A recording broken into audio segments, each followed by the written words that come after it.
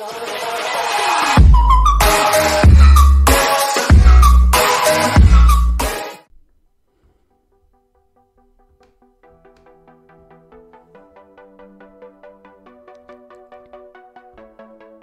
how you guys doing? It's your girl No Fuse. You all seem to like my videos where I rant away about different characters, so here's another one for you. And if you want more, then please smash that like subscribe button. And you also seem to know that this isn't going to be the first time that I've ranted about certain characters in the Sly Cooper series, but this might be the last time that I harp on it. Maybe. But you know, the more I thought about the main villain, the first Sly Cooper Clockwerk, the more I came to realize how many holes and questions there were in his story. For example, his explanation about how he went from a normal owl to becoming a giant owl death machine, he says over the years he slowly turned his body into metal to stay alive in order to make sure he eradicates every member of the Cooper clan.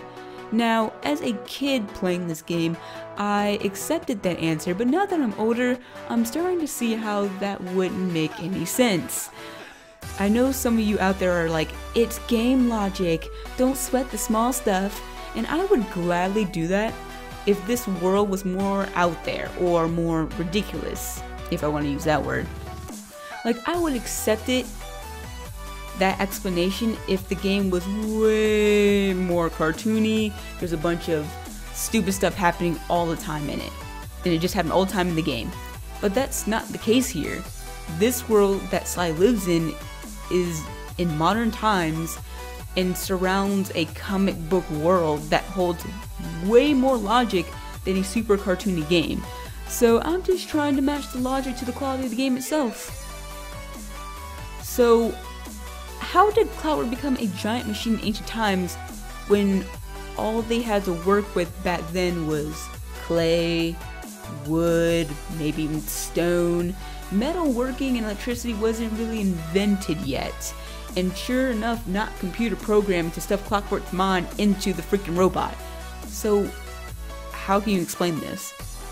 For the longest time, there was no explanation, there was no answer about how this came to be until the game Sly Cooper Thieves in Time came out. That's when it hit me. Because you remember the main villain, the gang leader, Le Paradox? Yeah, how he was jumping through time and messing around with stuff he shouldn't be, and Sly and the gang went after him to undo the damage? Now, what if they missed the place? What if they never realized he went to Egypt to do whatever he was trying to do, and by chance met Clockwerk. And it was friendship at first sight. And he agreed to help Clockwerk with his goal because it aligned with his. Then that would make a ton of sense. Le Paradox is a technological genius that even Penelope herself respected so much that she agreed to work for.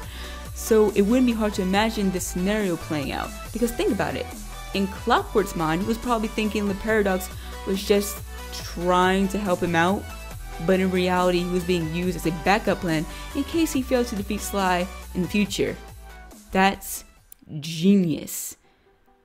So basically, what was happening here is that he, the Paradox, put a plan on top of a plan on top of a backup plan. Like, so if for some reason that Sly did defeat the which he does, he would he would just you know grin like ha ha ha I have all these other backup plans. There's no way you can feed him. Oh, you did. Uh, I mean, yeah, Sly. If you haven't played the game, Sly defeats all his plans. He defeats every time loop that he finds, including Clockwerk, which was way back in the past, which was the future. You know, we got all that going on, but you understand what I'm saying? Like that's genius. He's like, so if I can't defeat you in the future, I'll just make sure that uh, that you just never exist. But as you know, he, everyone fails to take out Sly because Sly is Sly, you know? But that would definitely fill up some of the backstory holes except for one. Clockwerk tells Sly that he's hated his family since way back when, but why? Was clock was there ever a Clockwerk DLC ever released about this or something of the sort? If there was, please let me know in the comments below because I haven't seen it. I have seen not one whisper about an explanation about this. Now, if there wasn't any explanation in DLC or whatever it is ever explained about why Clockwerk could could have hated the Cooper clan, uh, here's my theory. I think Clockwerk used to be either part of a rival thief clan or was Sly's ancestors' partner in crime. And everything was good at first, you know, they had that friendly rival relationship going on for a while, but then that one event happened between them that fucked it all up. And now I don't know what could what could have happened. What it could have been a number of things. It could have been a number of different events. But you have to think it must must have been really really bad because it was so bad that it left Clockwerk bitter and hateful towards the entire Cooper li- lineage. Like he hated all Coopers all over the world. He hated every single descendant. He made it his life mission to take them all out. What in the hell could have happened to set this off?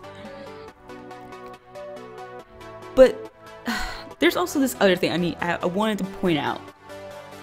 And that is how cliche Clockwerk was as a villain. Okay, hear me out before you start yelling at me, okay? hear me out. So this man, if you can call him that, did all of this, did all of this work, went through how many years of living he went through to take out all of the Coopers, and now he is at a point where he has the lives of what I am assuming the last two Coopers in the palm of his hands. Victory is assured. The finish line is right there. You can see it. He literally has to take two more steps and he has passed the finish line. It's over. Revenge achieved. But he kills his dad. He kills Sly's dad, but lets Sly live. Why? Now I understand if he didn't let Sly live, there would be no game. The credits would have already rolled down, unless there was some other mystery character we didn't know about. But that's not the case here, it's just Sly. So the game would have ended right there. There would be no story. I got it. I got it. And I'm gonna get on that later. Okay, I'm gonna get on that little detail later. But I'm I'm coming back for you, Clockwerk, right now. Okay, I'm I'm coming after you. Now, some of you may argue that he, you know, Sly was hidden as a kid. He was hidden in the house and all that, so he didn't know he was there.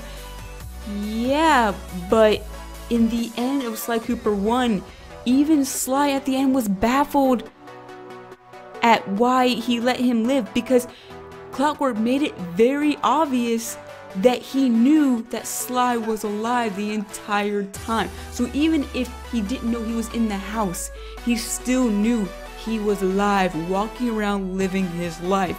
So Sly even asked him, Why did you let me live? He's like, You done fucked up. Like I took I've taken out all of your people. You're the last one left. Like, why would you let me live and fuck up your entire plan like this? And what's Clockwerk's excuse? I wanted to show the world that without the Thievius Raccoonus, the Cooper clan is nothing. Wait, what? Clockwerk, go back to Villain 101. Go back to class for a refresher because you failed. You freaking failed. You mean to tell me you could have attained victory all those years ago, but you decided not to because of your pride and morals? You are a villain. You no longer have morals or emotions. You throw those in the mental vault and send that vault to the darkest, farthest recesses of your mind with no key or combination in sight. Maybe when everything is said and done, you can open the vault again, but not while you're doing your revenge plot. You take out whoever you need to to get the job done, no matter who it is. Now, because of that, you ruined your own plan before it can even blossom. You you literally watched the plant grow, and then at the very last moment, literally is about to bloom. Your revenge flower is about to bloom, and you, you, you step on it. You, step on it, it rots, it, it's derooted. You, you messed up. You messed up. Now, now going back to the beginning, back to the beginning of when Sly's dad died and Sly Sly could have died but didn't die. Now, the beginning of the story could have taken a whole different turn if Clockwerk had handled Sly differently. Even Sly's character could have changed completely because of it. But I'm not going to go into that too much because we need to wrap it up. because this is about Clockwerk. This is Clockwerk's video. This ain't Sly's video. Now, if you guys want to see Sly's video of how the beginning could have changed Sly's character and how the entire story could have been altered, then leave a like below. And let's say, let's make a little goal here. Let's say 10 likes. If this video gets 10 likes, I will make a Sly Cooper video about this whole about this whole shebang. But if not, if it doesn't make it to 10 likes, then you guys can use your imagination. I don't mind at all. Until then, I'll see you guys next time. Bye!